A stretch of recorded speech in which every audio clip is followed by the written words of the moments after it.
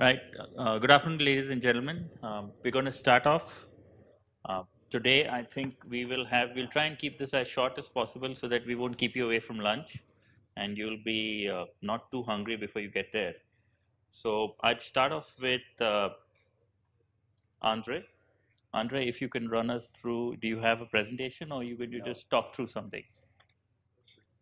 Good afternoon, ladies and gentlemen. Um, okay, so as people roll in, I'll start my my speech test. Okay. So Cleantech Solar is we just turned three years old recently, and our first asset just crossed the second year of its birth. So this is uh, it's a reason to celebrate, but it also shows you that you do not have a lot of a lot of PV systems in India at an advanced age. So you wouldn't have sufficient amount of data to know how these assets would work, let alone for five years or 10 years. I'm sure there are older PV installations in the country, but at least in our portfolio, two years is the maximum. So what I do, I use my experience from more than 10 years in PV and the data I have from other sites, uh, like in Singapore. I, I, I, live in Singapore for 12 years and I, I know how PV system works in a tropical environment for 10 years. So that's, that's what I know. Now it's about replicating some of that knowledge to India. So first, first of all, when, uh, when my boss told me get on a plane for this event, my colleagues were laughing at me in Singapore because I was mocking them that they were on 40 Celsius uh, weather two weeks ago. And they're like, ah, your turn will come. Because last time I was here, it was winter. And then suddenly, now I'm on the 40 Celsius and they're laughing back home. But I'm glad I was invi invited for this event, and some of you I already know because of um, of a, uh, another conference on O&M that took place in early February. So some of the things I'm going to say might sound repetitive, but what I wanted to highlight to you is that our assets in India are working quite well, much better than what I had envisioned. When I took over the role of head of O&M one and a half years ago, I was like bracing for impact because all that all I had heard from India uh, in terms of the quality of the grid. So I really so in our models we use 98% uptime. So I was like, I don't think this is going to be achieved. So brace for impact. But now, now that I have been dealing with PV system data here for one year plus, I can tell you the stories that I heard are worse than they really are. However, on the soiling aspect, this is really more than I had anticipated. So uh, that's why we wrote a publication last year to address the soiling rates that we had in our portfolio. That was one part of the publication. And the second part was about air pollution here in, in New Delhi. Because the first time I came to India was November 2015, and I couldn't see the sky. So I was like telling my boss, we're bleeding. We're bleeding massively. And now let's find out how much are we bleeding. And I can tell you, there's a paper on this. You can write me an email, I can share with you. Annually, we're talking about 6% reduction of yield for a PV system in, in Delhi. So we used to see these PVsyst reports showing 14, um, 1450 kilowatt hour per kilowatt peak, and I told my colleagues, this is not possible. And back in the conference in February, I actually challenged anyone in the audience to bring data to me of any PV system in, in Delhi, which is greater than 1400 kilowatt hour per kilowatt peak, and now I'm going to change my challenge from that day a bit because one of our assets is almost at 1400 and that one is tilted 27 degrees smack south and the cleaning uh, regime is very much uh, pristine.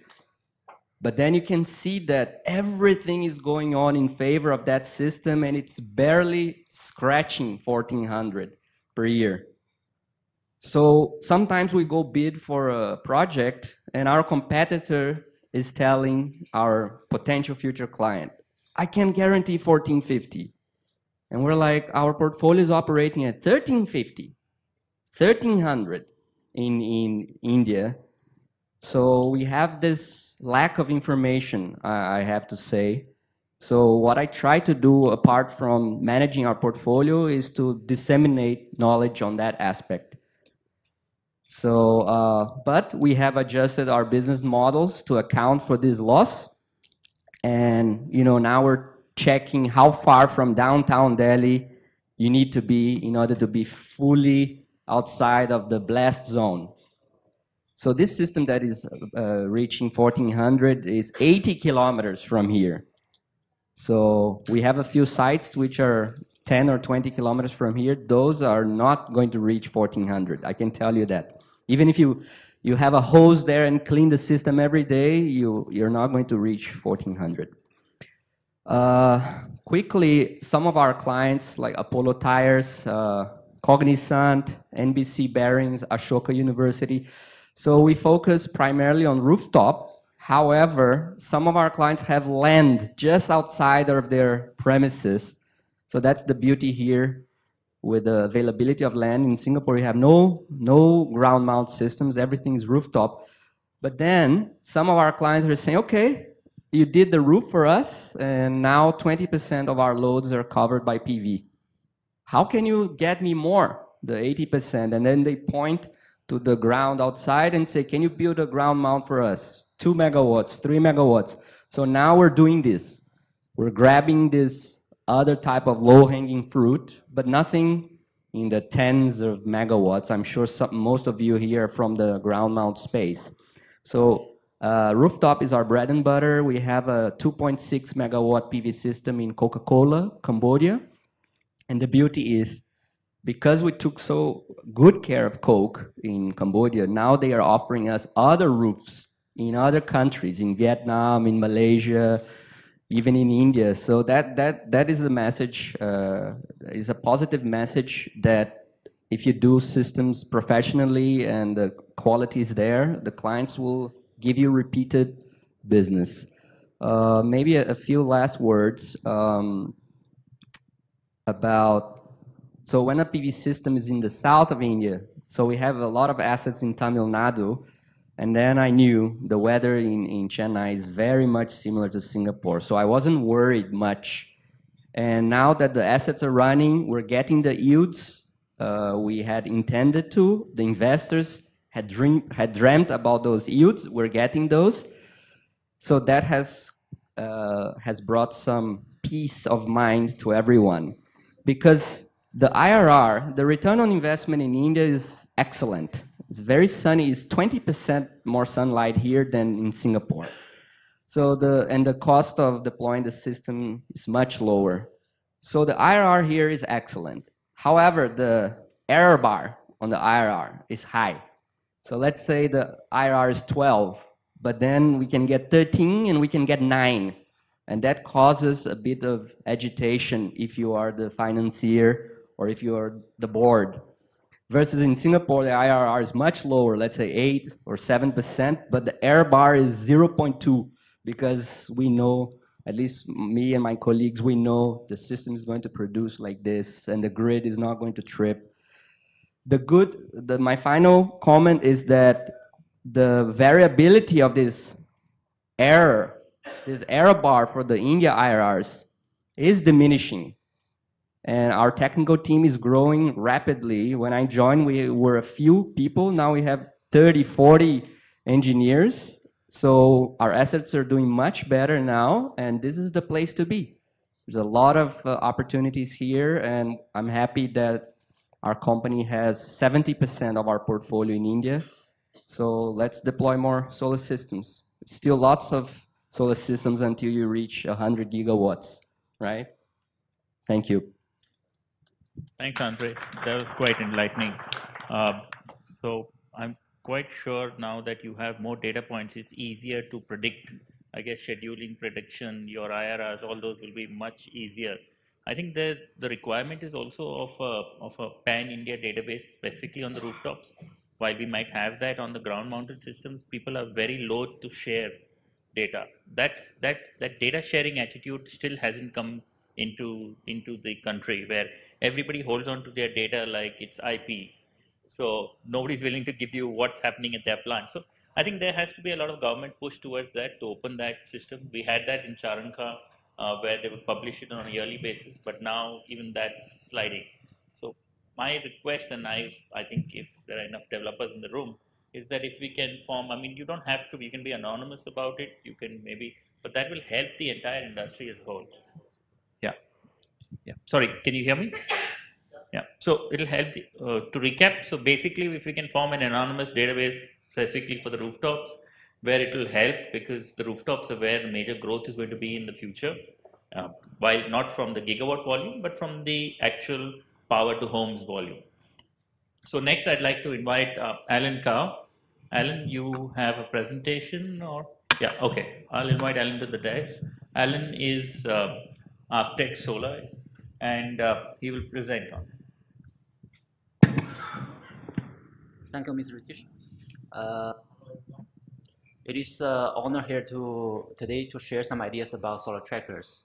So in the morning time, we we see Ms. Tanyan share some ideas from the finance perspective, how the trackers will affect the IRRs for solar plants.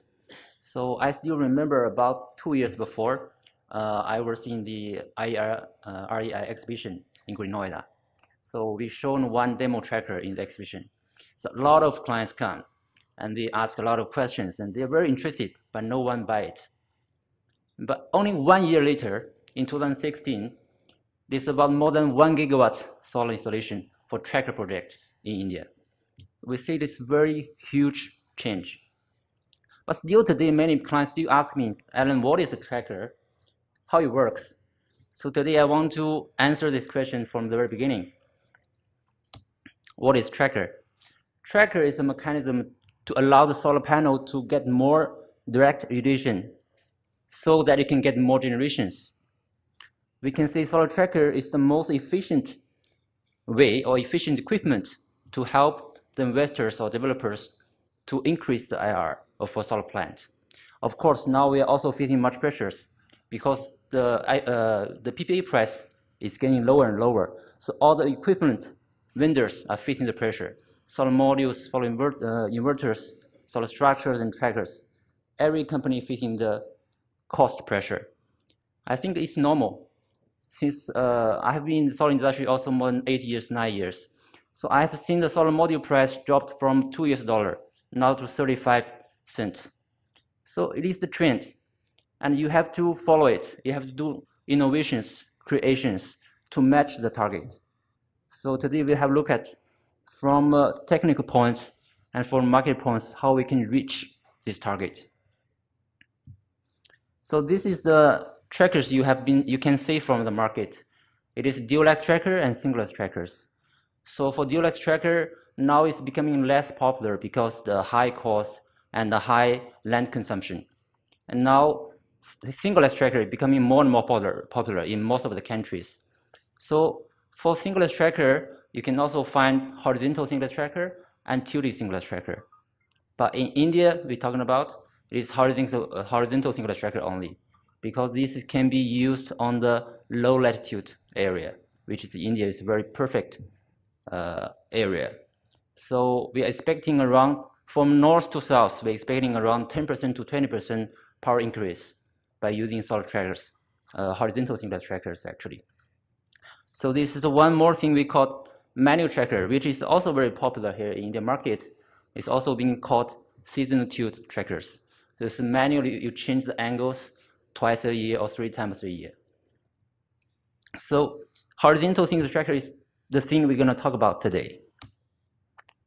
So this is uh, GTM's uh, research data form. If you can see the global solar tracker market change from 2015 to 2016, the global installation capacity of solar tracker increased from 7 gigawatt to 11 gigawatts, which is around a 63% increase. That's a big change.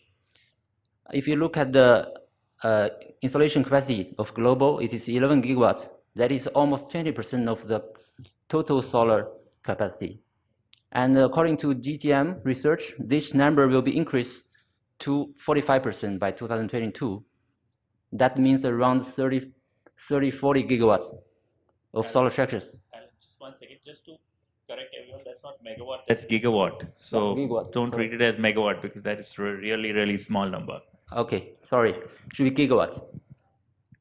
Thank you, Ritesh. So that means uh, after three years, five years, the solar tracker market could be reached to 30, 40 gigawatt capacities. So that's, that's a very exciting number. So currently, US, uh, United States is still play the main role in the solar tracker market. You can see this seven gigawatts. So it is almost uh, 60%, 70% of the total installation capacities.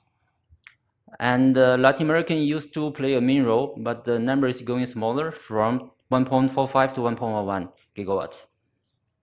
And here's the black horse. We can see the Asia Pacific market. It increased by 258% from only 600, uh, 650 megawatt to 2.33 gigawatts. That's a very big increase. So if we look into this Asia Pacific market, so India and China is playing the main roles for the for the numbers. So especially in India, last year the tracker shipments arrived 1.45 gigawatts. So around this means around 1.45 gigawatt solar tracker projects is commissioned or under construction. And China also contributes 719 megawatts. So India and China is becoming the most popular solar tracker market. And if you look at the market share, China is the biggest market share in the solar. And India this year will be, become the top three, right? Be more than Japan, become top three. So that means in Asia Pacific, there's a big potential market for solar trackers. And especially in India, last year, almost 20% of the total capacity is using solar tracker products. So this is a table that almost all the tracker vendors in this chart. So if you look at into this table, you can find these dual extract designs and single extract designs. For the single track designs, basically there's two different technologies. One is called centralized design, one is called decentralized designs. So currently these two designs, we can have half-half share of the market share. But if you look at this red circle, you can find almost 11 companies in this small area. This small area is centralized design tracker, and all of these vendors are both doing fixed structures and trackers. That means they are able to produce the product they designed. So we can see the market trend. This means more companies also join the market. So some new vendors also from India and from China join the solar market. And now we can see the trend will more companies focus on the centralized tracker design. But still, decentralized design is still playing a very main role in the market. So now let's talk about some something about technologies. So I want to ask a question: What is a good design tracker? A tracker design? That means how to design a tracker. So to answer this question, we have to go back to the first page. What is a tracker? The tracker is a mechanism to allow solar panel collect more direct irradiations. In order to collect more irradiations, the basic thing you have to make the tracker moving. Whenever the tracker stops, it cannot get, uh, collect more radiations. It will collect less. So according to our testing, about 40% less generation you can get if the tracker stops. So that means when you design a tracker, the stability and durability is the most important thing you have to consider. You have to make the tracker working good and working well.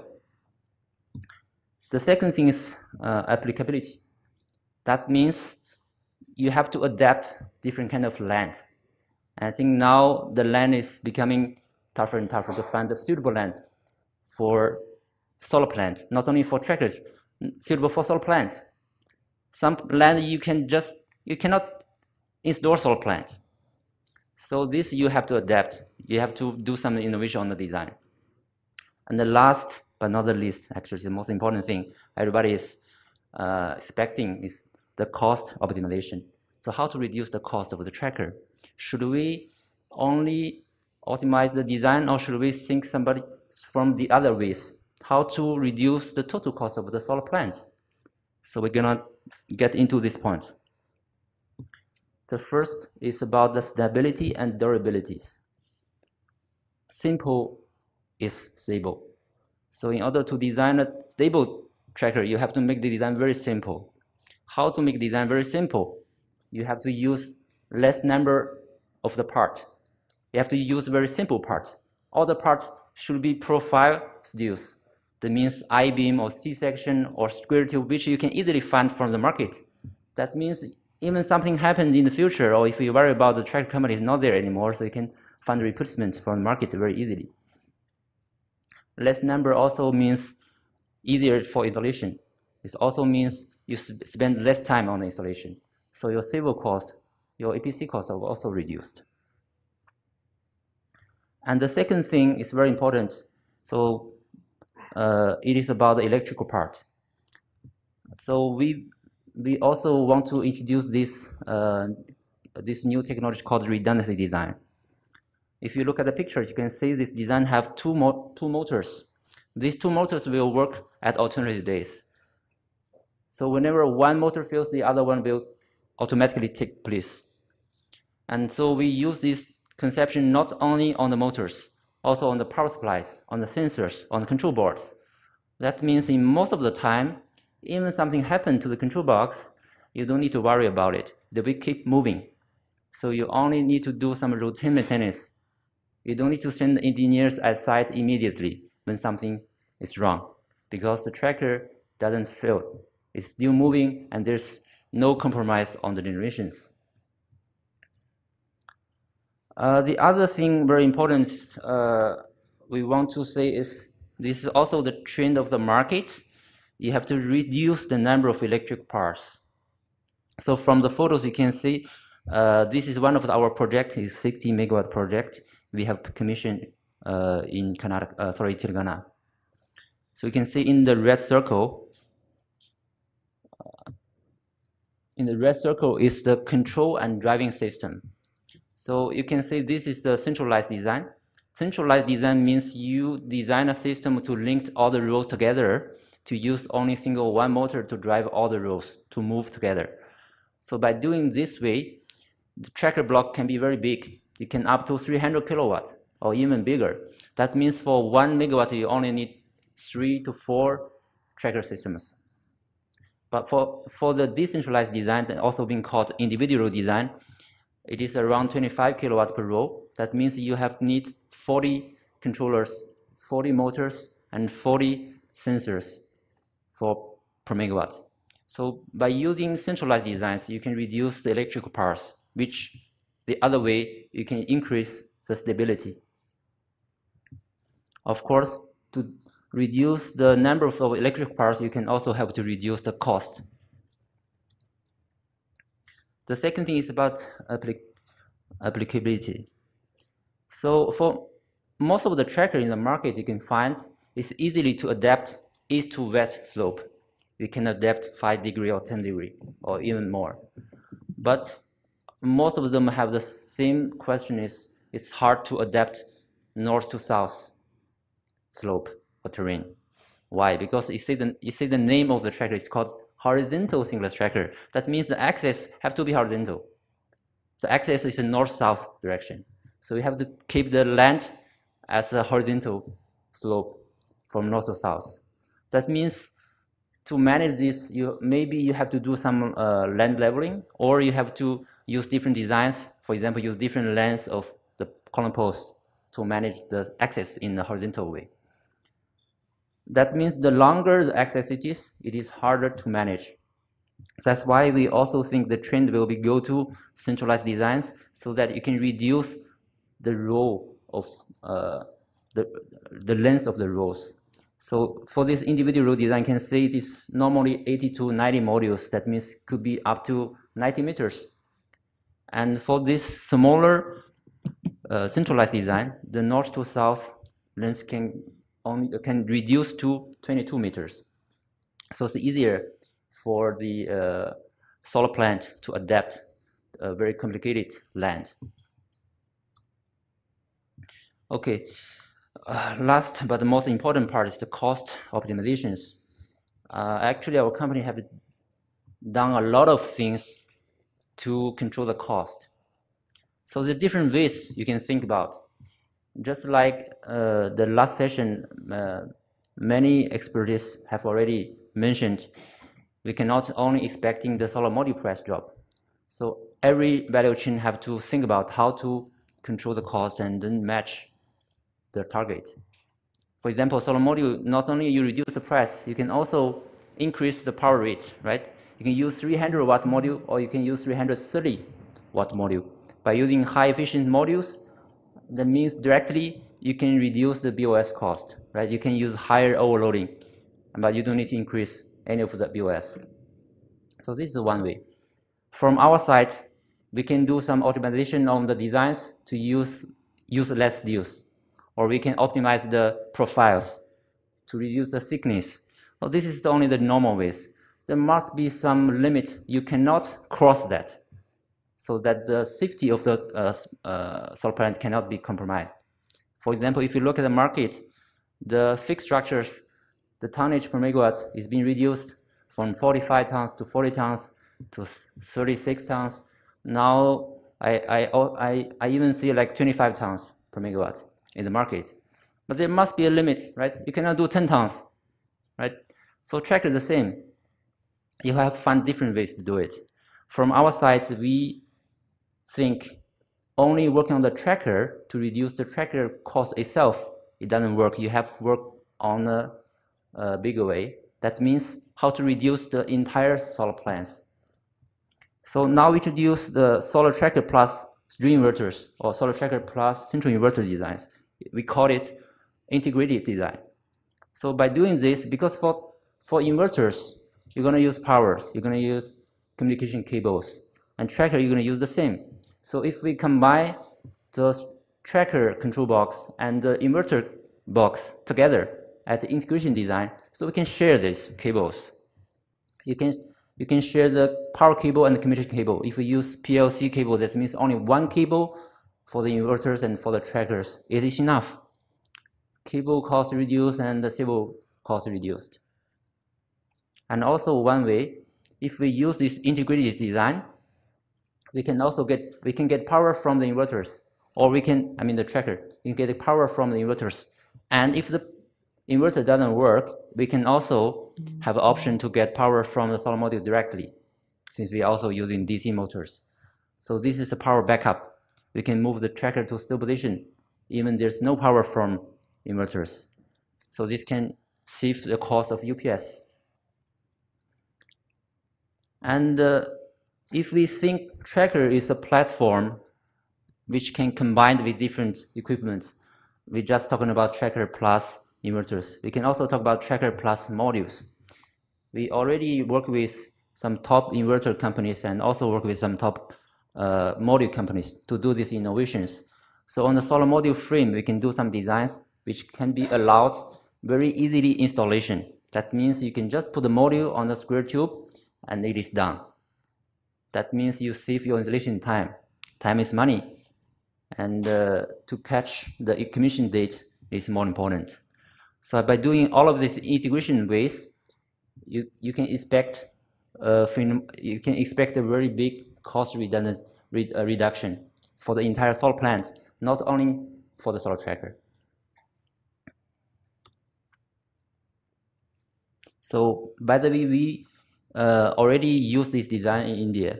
And this year we, we will have more than 150 megawatts will use these integration designs.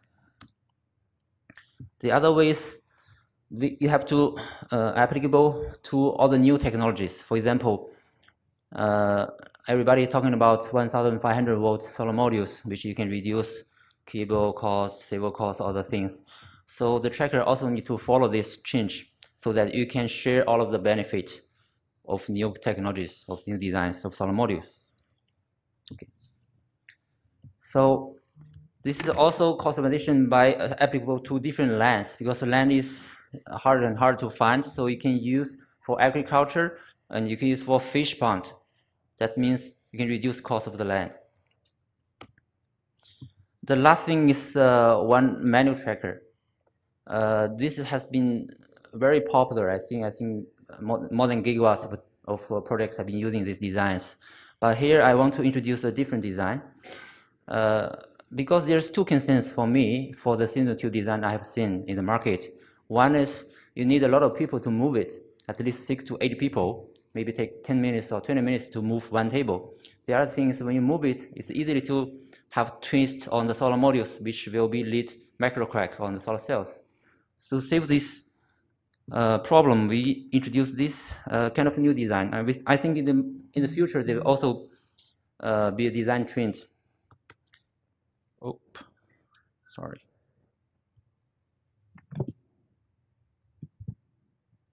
So you can see this only one lady can move this Seasonal Tube design. You can easily adjust uh, the angle within several seconds. So one people one day can move easily one to two megawatts. By doing this way, there's no macro crack because you can see the entire table moving at the same time. And you can move different times. In a normal design, you move twice or three times. But this design, you can move whatever you want, eight times, 10 times just I five, just hire four or five people, they can do it easily. So I think today's uh, presentation can give you some ideas that our uh, for other MMS and solar tracker companies they are thinking, they are doing innovations, they are working very hard to help you to achieve your solar plan target. Thank you. Thanks, Allen. I think that was quite uh, a deep uh, dive into what actually solar trackers are.